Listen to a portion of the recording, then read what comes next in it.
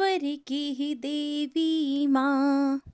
वाणी में मधुरता दो मैं गीत सुनाती हूँ।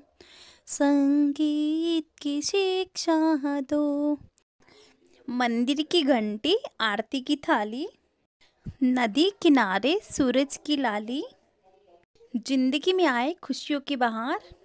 मुबारक हो आप सभी को। बसंत पंचमी का त्यौहार। हर आप सभी को बसंत पंचमी की बहुत बहुत शुभकामनाएँ।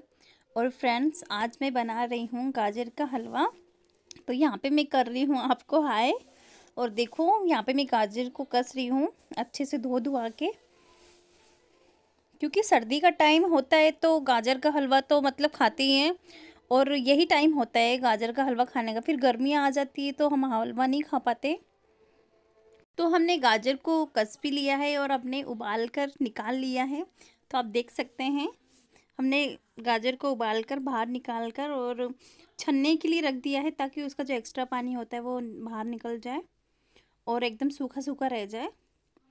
तो फ्रेंड्स ये जो देख रहे हैं आप, ये है कच्चा मावा, जो हमें गाजर के हलवे के लिए बहुत ज़रूरी होता है। इसके बिना तो बिल्कुल हलवा अच्छा नहीं बनता है। तो अब हम बना रहे हैं यहाँ पे गाजर का हलवा।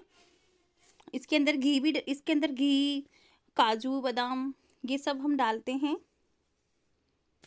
तो देखो, बन रहा है यहाँ पे गाजर का हलवा। तो यहाँ पे देखो, गाजर का हलवा बनकर रेडी हो गया है। कितना गर्मा गर्म बन के एकदम से एकदम से तैयार हो गया है। और आप ये देख सकते हैं, गाजर कितना हलवा कितना अच्छा बना है।